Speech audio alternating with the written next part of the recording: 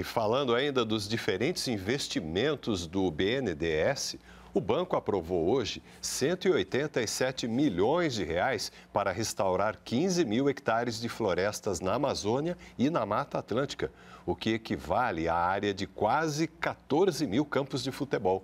O apoio inclui 80 milhões de reais em recursos do Fundo Clima, como parte do investimento já anunciado pelo banco ao programa Arco da Restauração, que prevê a destinação de até um bilhão de reais para ações de reflorestamento na Amazônia. As áreas plantadas receberão cerca de 100 espécies diferentes de vegetação nativa, contribuindo para a conservação da biodiversidade nas regiões.